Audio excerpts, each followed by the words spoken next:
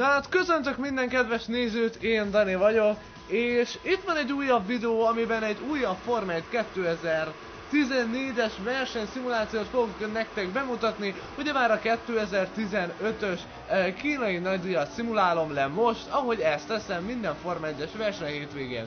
Most kivételesen nem a Ferrari csapatával próbáltam szerencsét a versenyen, hanem a McLaren e, autójával, ami nagyon-nagyon hasonlít az idei McLaren Hondára, és úgy gondoltam, hogy ez akkor így nem is nagyon élethűtlen, és Buttonnel e, keltem versenyre, ami azt jelenti, hogy e, teljesen korrekten szimulálom ezt a versenyt. Még mielőtt belekezdenék a videóban, amiről a Ferrari Mercedes esélyeiről szeretnék majd beszélni, és a McLaren, Honda és a Renault szenvedéséről is, addig bocsánatot szeretnék kérni, hogy az előző videómban a színek nem voltak a legjobbak. Ezt sajnos azért sikerült megcsinálnom, mert Sony Vegasban ráraktam egy kis színezési effektet a videómra, amit igazából Battlefield közben szoktam egy-kétszer használni, csak hogy a Battlefieldnél kicsit mások ezek a, a színeffektek, és ott még lehet, hogy jól néz ki, de a Form 1 ezek szerint nem nézett ez az egész jól ki. És renderelésnél ezt nem vettem észre, rende, lerendereltem, feltöltöttem a videót, és még az én monitoromon én olyan kontrasztet állítom be a monitoraimon, hogy az én monitorom nem is volt olyan csúnya, mármint az én monitoromon ez a kép, de úgy látszik nálatok, a Youtube-on nem volt annyira szép, igazából csodálkoztam rajta, hogy mindenek is dislike-okat és azt, hogy le is kopogom, mert nem is szeretném.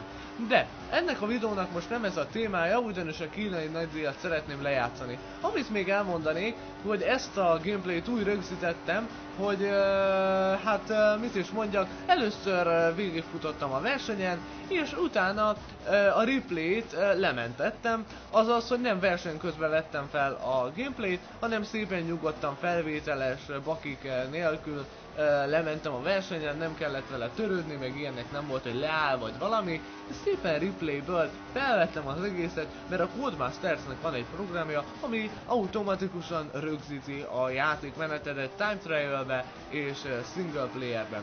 Szóval vissza tudom nézni, akár a másfél órás versenyénet is.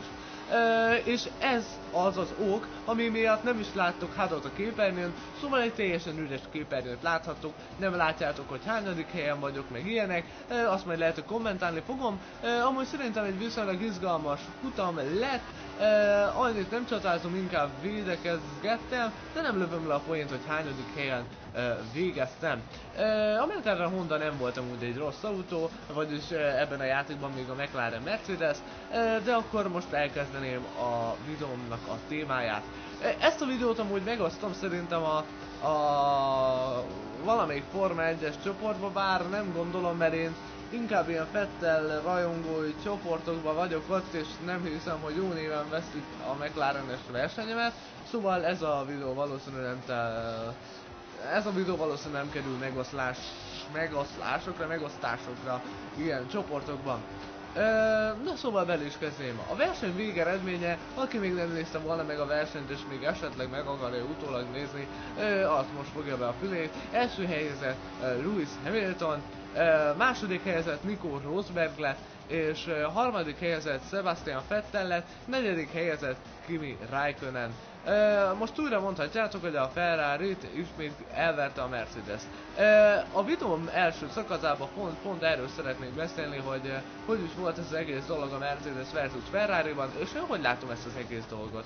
Igen, a Mercedes ezen a pályán gyorsabb volt, mint a, a Ferrari, bár itt úgy látszik elég sok minden a kezükre játszott. A Mercedes tavaly is ezen a pályán nagyon-nagyon ott volt, itt rengeteg leszorító erő szükséges, és ez a pálya már nem annyira koptatja a gumikat, vagyis ezeket a fajta Pirelliket, mint régen. Régen itt sokkal több kiállásra volt szükségük a csapatoknak, mint most. Most kettő kiállásból nagyon könnyen megcsinálták a versenyt, úgy, eh, annak ellenére is, hogy Ferrari próbált azért eh, a Mercedes-szel kiszúrni, azaz, hogy ők korábban jöttek ki, és mivel félt a Mercedes, hogy nehogy elévágjanak, vissza ezért nekik is korábban ki kellett jönniük, és azért a futam végén egy elég hosszú etapokat kellett teljesíteniük. De mindegy is, ezt szerintem jól csinálták a ferrari de ebből a futamból sokkal többet nem tudtak volna kihozni. A Mercedesnek ez a pálya nagyon-nagyon feküdt, itt nem is volt olyan meleg levegő, és az most már kiigazolódott, hogy a 2015-ben a Ferrari-nak az év ezen szakaszán szüksége van a melegre, és amiben én nagyon-nagyon bízok az, hogy Bahreinben, mivel az egy sivatagi pálya, elég nagy a gumikopás, a homokszemcsék meg ezek miatt, nagyon-nagyon jó esélyekkel vág neki a Ferrari, mivel a hátsó gumikopás az még nagyobb, ami a Ferrari-nál nagyon-nagyon jó, mivel a gumikopás az nagyon-nagyon jól kezeli a Ferrari, főleg a hátsó gumikopás, és remélem, hogy Bahreinben visszaélhetnek ezekkel a tulajdonságokkal, mivel nem mondom, hogy Bahrein nagyon sokat hasonlít Malajziába, ugye Malajziába Ferrari nyert, tiszta tempóból gyorsabb volt, mint a Mercedes, de ugyanolyan lassú kanyarai vannak, mint a Malaj pályának, mivel most már Bahreinben éjszakai futam van és nem fog úgy tűzni a nap, mint az előző évek folyamán, ezért számítok arra, hogy egy 5-8 fokkal azért hűvösebb lesz az aszfalt, mint az előző években volt ott, de viszont azért egy ilyen 40 fokos hőatag időben nem hiszem, hogy az annyit fog számítani, főleg ha egész nap süt a nap, akkor az aszfalt azért valamilyen szinten melegen marad. Én ebben nagyon-nagyon bízok. Hogy hogy látom a Mercedes versus uh, Ferrari erőviszonyokat?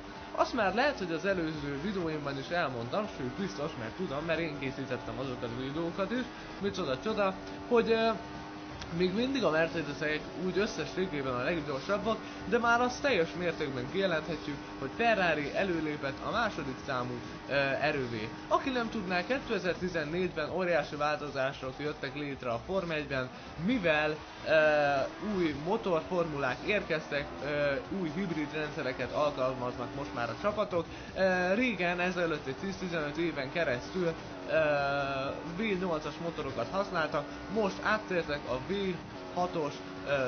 Motorokra, ugye a V8-asok azok szívó motorok voltak. Ezen véget szakadott az addig 4-5 évig tartó Red Bull uralom, és a Mercedes lépett első számú erővé elő. Ez főképpen azért van, hogy főleg a 2014-es évben óriási előnyt alkottak, amiatt, mivel a motorjuk nagyon-nagyon erős volt, és még az autó karosszériája is a topon volt. Most így 2015-re a csapatok így már próbálnak feljönni, ez főleg a Ferrari-nak sikerült a leglátványosabban, mivel motorilag olyan agresszív fejlesztési ütemezésbe kezdett, hogy közel már utolérte a Ferrari motor a Mercedes erőforrás, bár még nyilván vannak egy kis hiányosságok. Ebben a korszakban azt tudni kell, hogy nagyon-nagyon sok a számút és nagyon sok múlik a motorokon, mivel 2014 előtt a Red Bullnak sose volt a legerősebb motorja, nekik mindig is a Renault volt partnercég, de nagyon-nagyon irányítható autót építettek, és Adrian Newey főtervezőként nagyon-nagyon nagy koponyával rendelkezik, még most is, és akkor ki tudta használni a V8-asokban lévő stabilitás, agresszivitás és mindenféle a kezére játszott igazából neki. Ugyebár a V6-osokkal ez a rendszer felborult. Ugyebár Fettel 2015-re a Ferrarihoz igazolt, ez az első éve ebben a csapatnak, ezt azok számára közöltem el ebbe az elmúlt 2-3 percben ezeket a pár információkat, aki nem nagyon követné a Forma 1 világát. Ugyebár én Fettel szurkoló vagyok, azért is emeltem őt kérnyire, de most már nagyon elkavarni a témáról. Visszatérve, hogy látom az esélyeket? Az még mindenképpen igaz, hogy az év ezen szakaszában a ferrari szüksége van a meleg levegőre, mivel, ahogy már előbb is említettem, sokkal kíméletesebben bánnak a gumikkal, ami minden esetre előny lehet, mivel ha valaki kíméletesen bánik a gumikkal, akkor az is lehetséges, hogy sokkal komolyabban megnyomja a tempót, mármint hogy gyorsabb köröket autózik, és akkor áll ugyanilyen helyzetbe, mint amikor más csapat ö, óvja a gumikat. Pont ugyanez volt Malajziában. Ferrari-val Fettel remek köröket autózott, miközben Hamiltonék, ha gyorsan mentek, tudtak gyorsan menni, csak éppenséggel akkor két kör alatt kinyírták a gumiaikat, és épp ezért lassabb tempóra kellett fogniuk a vasat, eh, hogy azért tudjanak egy eh, legalább egy 10-15 kört menni a lágyabb keverékek gumikkal, és mondjuk tudjanak egy 20 kört menni a keményebb keverékkel. Uh, és ez az előny még mindig megvan a ferrari és valószínűleg az év folyamán ez nagyon kulcsfontosságú előny lehet, amiben én nagyon bízom.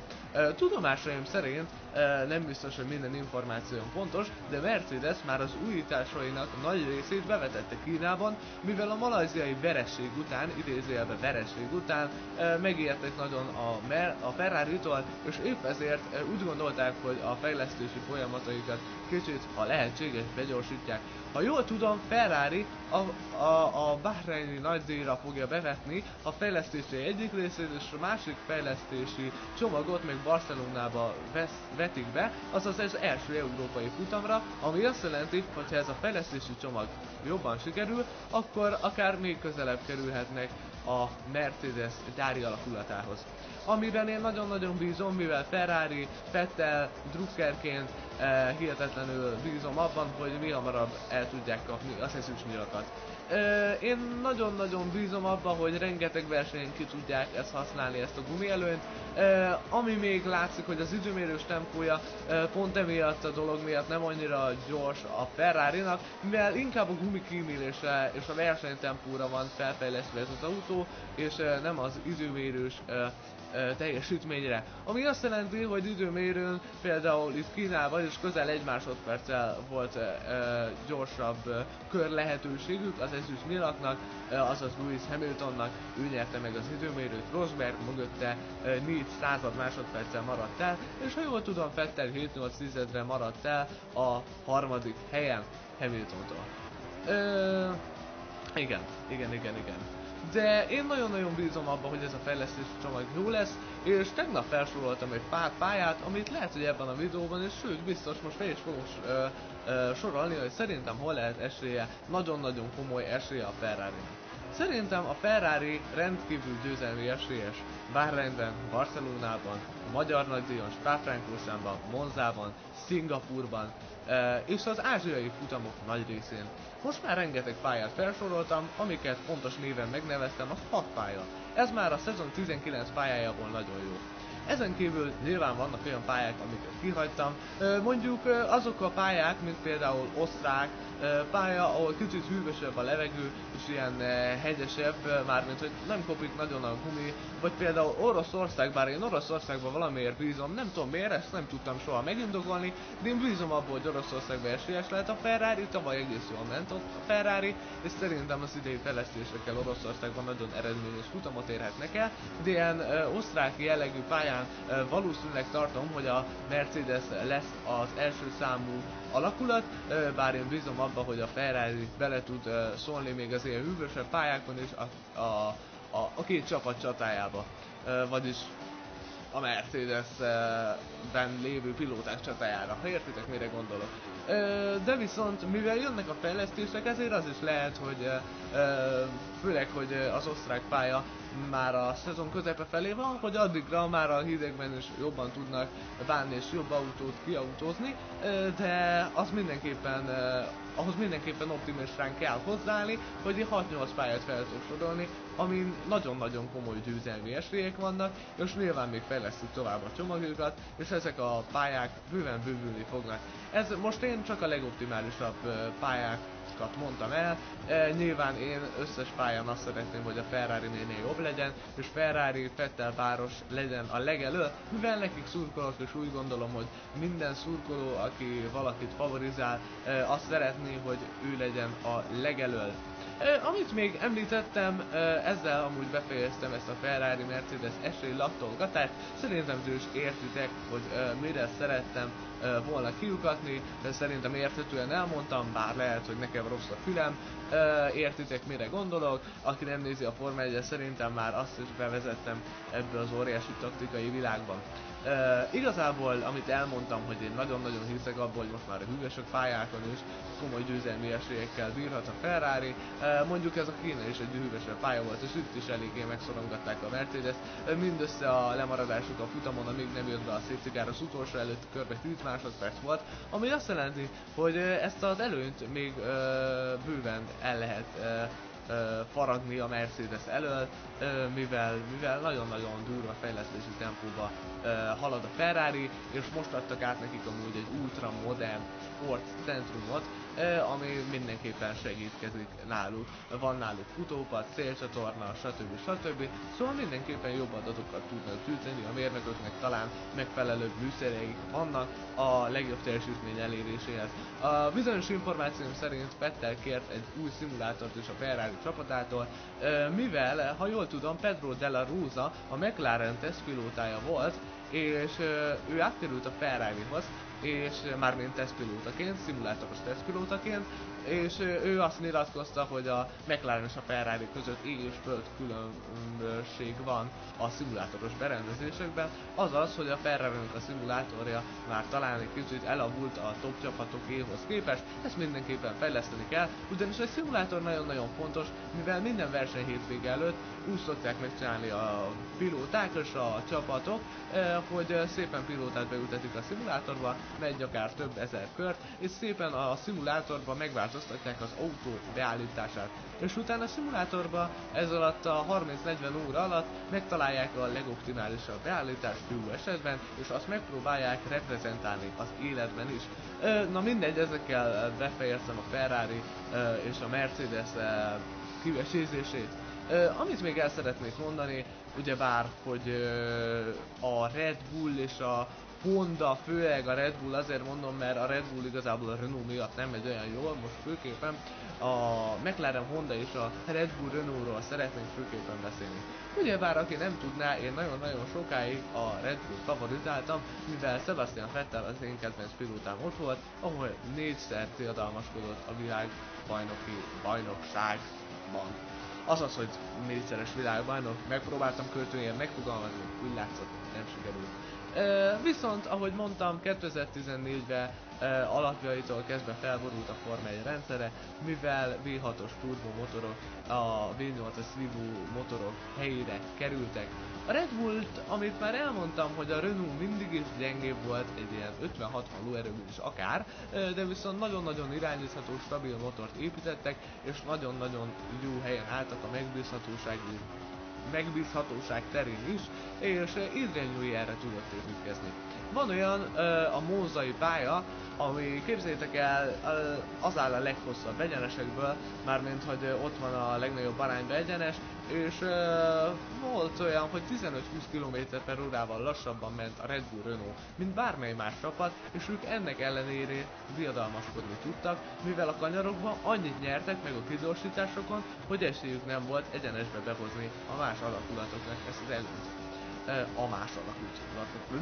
A más alakulatoknak ez gyönyörű volt. Szóval esélyük sem volt ugye behozni mondjuk a ferrari ezt az előnyt, aki mondjuk lehet, hogy 15 km per órával gyorsabban ment az egyenesbe, de kigyorsításon értelemszerűen csúszkáltak a leszorító erőn miatt. Viszont Adrian Newey, ezt is már elmondtam egy videóban, nem tudott nagyon építkezni erre az egész dologra, hogy 2014-ben ilyen gyenge motort épített a Renault, és hogy versenyképesek legyenek az egyenesbe és egyáltalán előzést, előzési helyzetet tudjanak generálni maguknak, muszáj volt visszavenni kicsit a leszorító erőből, és emiatt ez az egész nagy leszorító erős rendszer felborult, mert valamivel kompenzálni kellett a közel 80 lóerős lemaradását a mercedes szemben a Renault motornak. Ez idén sem változott meg, és pont erről szeretnék beszélni. A Renault mindenfélét ígérgetett a Red Bullnak, hogy most már úgy fogunk viselkedni, mint valami gyári alakulat, most már e, azt szeretnénk, hogy legalább 40 lóerőt lefaragjunk a Mercedes-hez képest, szóval mivel a Mercedes, ha jól tudom, fejlődött egy ilyen 50 lóerőt, az azt jelenti, hogy a Renault-nak egy 90 lóerős fejlesztésre e, kellene most e, sarkalni magát. Ez évelején nem jött össze, annyira nem jött össze, hogy már az első szabad edzésen, az év első szabad edzésében Ricardo-nak egy motorja húrra megadta magát, ami azt jelenti, hogy mivel egy évben négy motor jut a 19 versenyre, eh, egy futam, egy motor arány az nem feltétlenül a leges legjobb. Ennek ellenére, e, vagy ezzel szemben a Mercedes a tesztidények alatt, ha jól hallottam, a 20 versenytávnyi 12 napos tesztelést egy darab motorral, amit nyilván fejleszgettek és cseréltek benne talán elemeket, egy darab motorral csinálták végig. Az azért elég nagy változás, miközben a Renault ezzel szemben. A Renault idén elismerte, hogy nagyon-nagyon kihegyezve és nagyon-nagyon nagyon-nagyon gyors tempóba akart fejlődni a lóerők terén, és épp ezért a megbízhatóságból kicsit visszavett, és nagyobb kockázatot vállalt, és ennek a fagyinak most a másik oldalát még nyelják. Ami egy nagyon-nagyon jelentős adat, az, hogy Ausztráliába a négy Renault motoros alakulatból egy darab versenyző tudott beérni.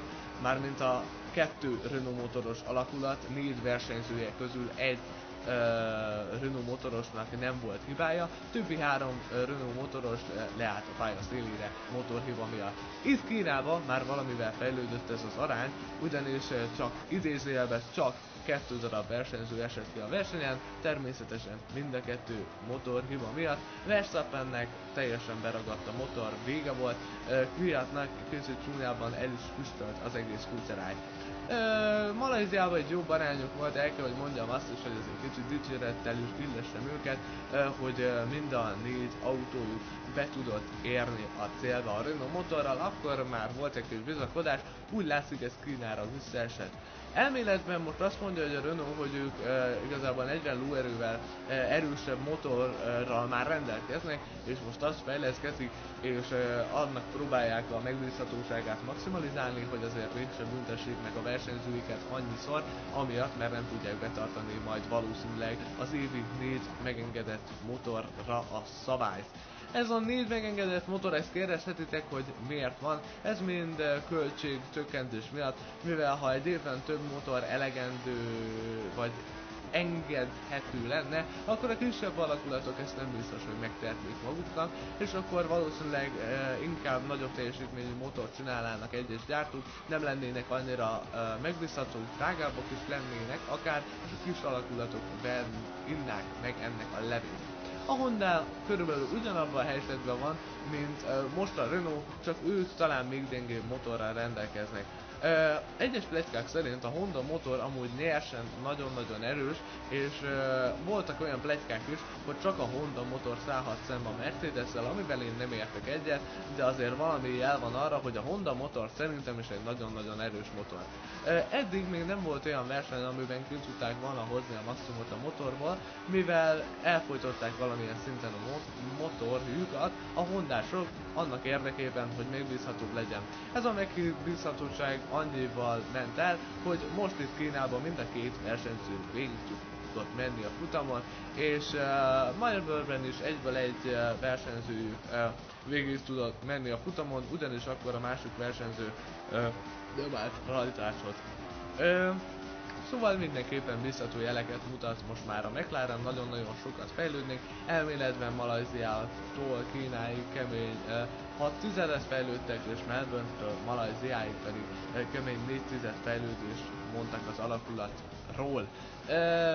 Ezek mellett ugyebár egy motor nagyon-nagyon összetett, szóval a motor nem csak a nyers motorból áll, mivel ilyen 120-150 lóerőt körülbelül rátesz maga a hidraulikus rendszer, ami azt akarja, hogy van egy nagyon komoly elektromos berendezés is a motorokban, ami azt akarja, hogy uh, itt nagyon komoly elektromos rendszer van. Ugyanis körönként, ha jól tudom, 30-33 másodpercig a versenyzőknek 20-120 lóerő áll rendelkezésükre, és ezt bárhogy be lehet osztani, szóval uh, az is lehet, hogy 68 másodpercig áll neked rendelkezésre, vagy 66 másodpercig uh, áll neked rendelkezésre 60 lóerő, ugyebár a 120 helyett, hogy ilyen fordított arányosság értitek, mire gondol. Uh, Szóval ez egy nagyon-nagyon összetett rendszer, és a McLaren még ezzel is küzdött, de hát nekik ez az első évük a Forma 1-be, eh, mármint a Honda alakulattal. E, mármint nem az első évük, mert régen ugye bár volt McLaren Honda, de az új korszakban nekik ez az első évük, és épp ezért nyilván nekik nehezebb helyzetük van, mint a már egy évvel tapasztaltabb csapatoknak. Na jó van, ennyit szerettem volna elmondani igazából ebben a videóban, ez a versenynek az utolsó köre, ahogy láthatjátok, e, igazából vajon megelőzi még Rosberg, nem, meg tudtam védeni itt a féktávon a helyzetemet, és uh, meg tudtam nyerni ezt a versenyt. Uh, nekem tetszett igazából ez a McLaren, itt megmutatom kívülről, hogy beértem a Szelva, és köszönöm szépen a figyelmet, remélem érthető információkat osztottam meg veletek. Lesznek még Forma 1-es videók, mert rengeteg pletyka van itt a Forma 1 világába. Ha tetszett ez a videó, ne felejts nyomni egy lájkot, és ne felejts feliratkozni a csatornámra, ami nagyon-nagyon sokat segít a további pályafutásomban. Sziasztok!